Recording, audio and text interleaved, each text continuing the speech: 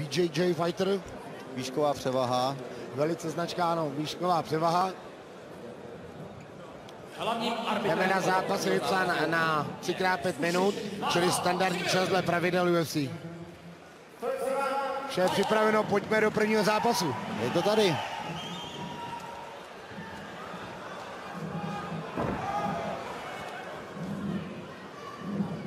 Filip trošku křečovitější. Charles dobře drží pozici.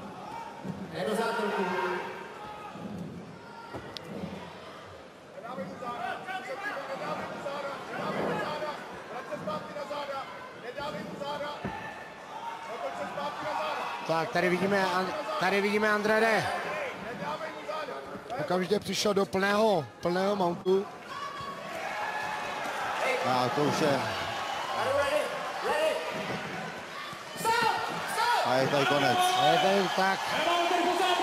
Charles neponechal nic náhodě, opravdu se ženo pohlídal a dominantně zvítězil jednoznačně, nenechal nikoho na pochybách.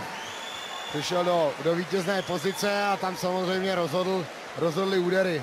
Nicméně sláva vítězí Českoraženému potlesk do Open vyhrává Charles Garcia Andrade!